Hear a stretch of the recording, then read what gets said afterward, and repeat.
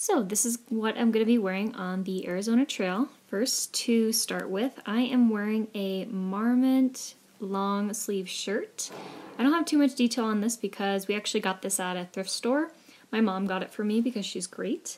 Um, but it is a size medium and it is 100% nylon. So it's very soft and comfy and it's one of those easy wick materials and it's easy to roll up the sleeves as well. For shorts, I'm wearing some Lululemon shorts. I think they're a size 8 maybe, I'm not entirely sure. But they're nice because they have a drawstring, so they're easy to tighten. And I actually wore these shorts on my 2019 hike of the Arizona Trail, so they're coming back and they're helping me finish the trail this time around. On top, I've got a bandana, which I always love to have. It's easy to wick sweat away or even to put over your ears if you're cold, and for night now, it's perfect for using as a mask. Something that I just got within the last year are some sun gloves. I think these are going to be perfect because it is going to be extremely sunny. What I used to do before is I would tie my long sleeves over the hole for my thumb and use it to kind of drape over myself. But this is going to be way more comfortable and they're also breathable, but they give a little bit of warmth too. So I'm hoping it is going to be a bit colder when I do start. And I think they're going to just help add a layer of warmth, but they'll also be cooling as well and protect my, my hands from the sun. My son from the hands. And to top off this Pokemon trainer look, I am going to add a hat. And I actually got this hat was when I was in Washington. It says Washington on it and it has an elk or a deer that's walking through the forest. It's definitely oversized and a bit of a checker hat, which I kind of like because it's easy to clean or you can get it wet. You don't have to worry about it molding too much. It'll wick up some sweat and it's just going to give me a lot of coverage as well too.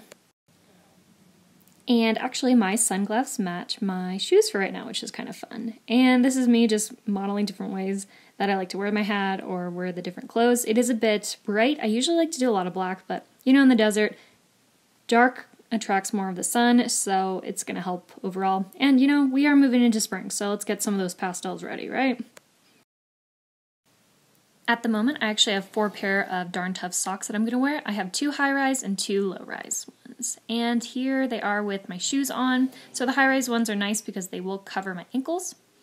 And here are the sun gloves up close. Uh, the brand is Outdoor Research. Next up, I'm hopping into my day look. So I usually wear this when I'm in town. I call it my town dress. And it's because I usually want to wash everything and I can just throw this on. It's really easy. It's so comfortable too. I got this dress at a thrift store a handful of years ago. And on top we have my REI rain jacket and it has the pit zips and it's one of the latest ones that I saw on their website and it wasn't super expensive. I did get it on sale. The rain jacket is in a women's medium, and the dress is from Derek Heart, and it is in a size small. And also, my sun gloves are in a size small as well too.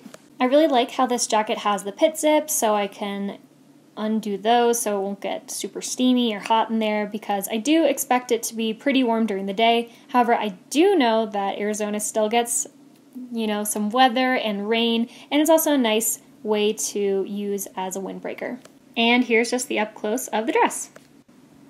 Next, we're going to be talking about my sleep attire. So on the top right here, I just have a basic tank top that's made of cotton, not too important. Underneath there, I have my thermal leggings. I got these off of REI. They're made of silk in a size medium.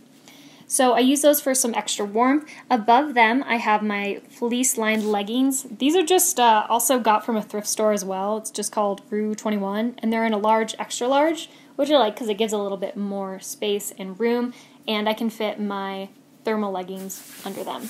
Above that, I have this really soft, cozy, long sleeve fleece shirt that has little areas that you can put your um, fingers into. It'll keep them warm. And on top of that, I have my Princess Puffy.